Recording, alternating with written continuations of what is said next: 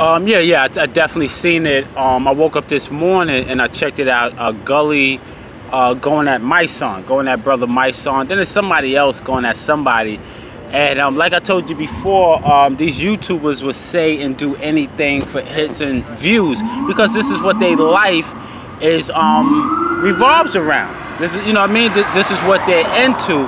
Um, my man was telling me, he said um, it's a certain quarter that these dudes got to get a certain type of, a certain amount of views to reach this. He was breaking it down to me and it kind of made me understand it, right? So now Gully is getting that my son. I don't know who got at who first. I'm gonna check it out. Somebody had just brought this to my attention.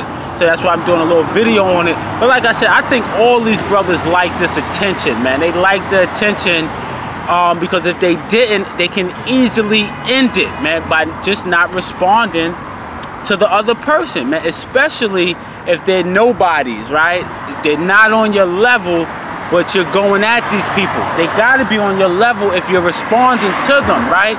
If they're not on your vibrational frequency, you won't even catch the, the diss, the sneak disses.